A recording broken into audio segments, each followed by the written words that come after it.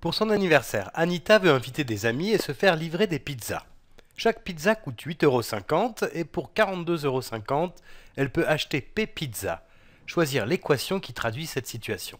Donc voilà, on nous propose ce problème qu'il faut en fait mettre en équation. Alors je vais le relire en soulignant bien les données. hein.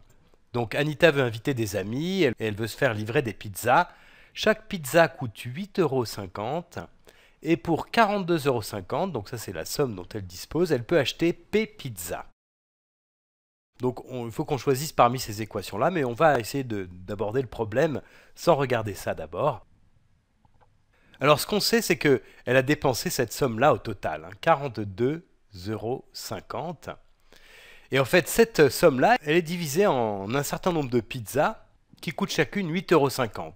C'est-à-dire que si je divise le prix total par le prix de chaque pizza, 8,50€, eh bien je dois obtenir le nombre de pizzas. Voilà. Ça, c'est une façon de voir déjà les choses. Ici, hein, je répète, ici, c'est le prix total. Prix total. Ici, c'est le prix par pizza. Prix par pizza. Et ça, du coup, c'est le nombre de pizzas. Nombre de pizzas. Voilà, alors en fait là on a une équation, hein. P doit être égal à 42,50 divisé par 8,50. Et ce qu'on peut voir c'est que cette équation-là, eh bien on la retrouve ici, hein. c'est celle qui est là, 42,5 divisé par 8,5 égale P.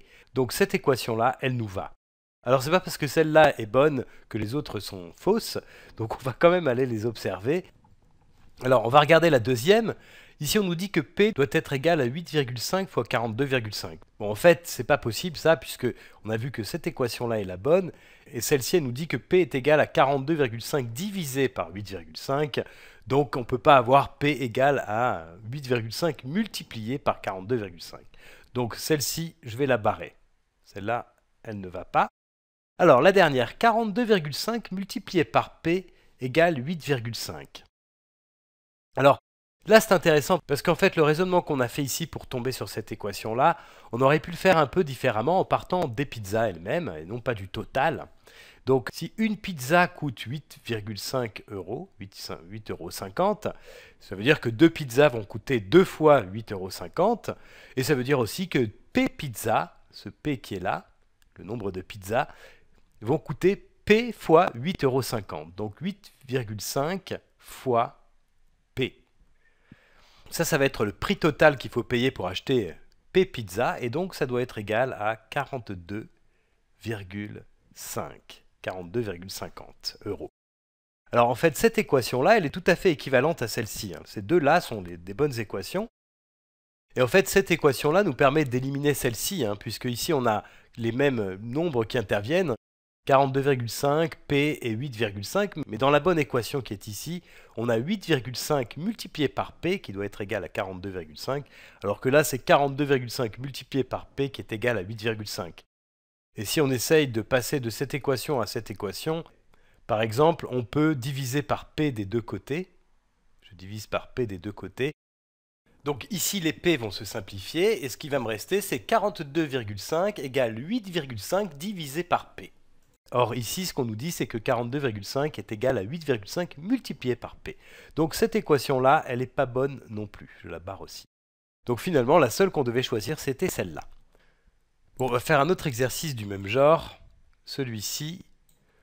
Et là, je vais lire l'énoncé en soulignant bien les informations qui sont données.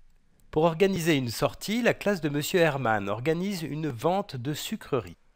La classe dispose de C paquets de bonbons et doit récolter 500 euros. La vente de chaque paquet de bonbons leur apporte un bénéfice de 2,75 euros.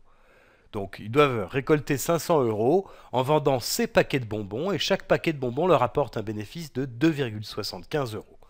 Écrire une équation que les élèves pourront résoudre pour déterminer le nombre de paquets de bonbons qu'ils doivent vendre. Donc là, c'est une manière de les aider. hein.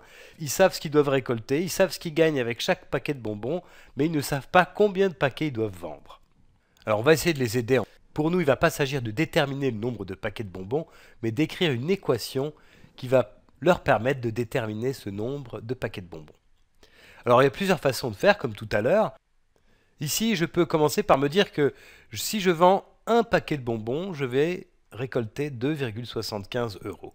Donc si je vends deux paquets de bonbons, je vais récolter le double de ça, donc 2 fois 2,75. Et en fait, si je vends ces paquets de bonbons, eh bien je vais récolter 2,75 multiplié par C. Alors ça, c'est la somme totale, la somme totale récoltée. somme totale récoltée. Et en fait, cette somme totale récoltée, eh bien, on sait qu'elle doit être égale à 500 euros, c'est dit ici. Donc 2,75 multiplié par C, ça doit être égal à 500. Et voilà, là on a terminé en fait puisqu'on a trouvé une équation euh, qu'on va pas forcément résoudre ici, mais cette équation-là va permettre de trouver la valeur de C. Alors on aurait pu faire différemment, on aurait pu se dire je dois récolter 500 euros, enfin ils doivent récolter 500 euros, chaque paquet de bonbons leur apporte un bénéfice de 2,75 euros. Donc si je divise 500 par 2,75 euros, eh bien je vais obtenir le nombre de paquets de bonbons que je dois avoir, donc je vais obtenir petit c. Voilà, et ça aussi c'est une équation. En fait là il suffit de faire cette division pour trouver la valeur de c.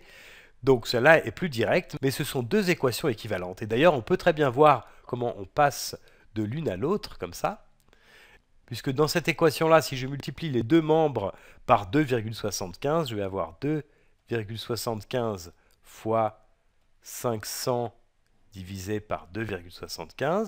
Là, c'est ce membre de gauche que j'ai multiplié par 2,75.